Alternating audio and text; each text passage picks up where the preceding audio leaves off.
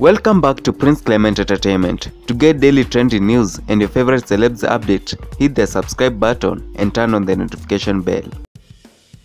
Zora is a local drama series that airs on Citizen TV weekdays from 7:30 to 8 pm.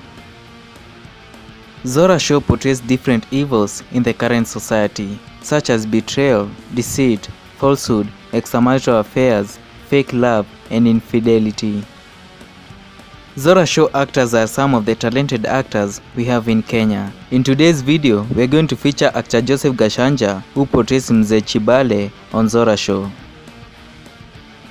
Mzee Chibale portrays father to Oliver, Oscar, and Loretta. He is the grandfather to Madiba and Kwame.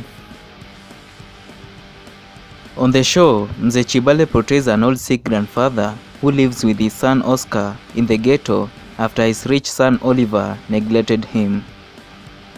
Currently on Zora show, Mzee Chibale has died due to a kidney failure disease. Mzee Chibale's real name is Mr. Joseph Gachanja. Joseph Gachanja is a renowned actor who has been featured in many movies and shows including international roles. He is popularly known for his role as Mzee Kobe in Machachari show on Citizen TV. He is one of the oldest personalities in the industry and has won several awards such as Kalasha Awards where he won the Best Lead Actor award. He has acted on movies such as Sense8 series, Band Forest movie, Tithes and Offerings, Machachari show, among others. Joseph Gachanja resides in Nairobi Eastlands area. He is married to his beautiful wife of 56 years. Gachanja is blessed with a big family, of which he likes to term his family as a clan.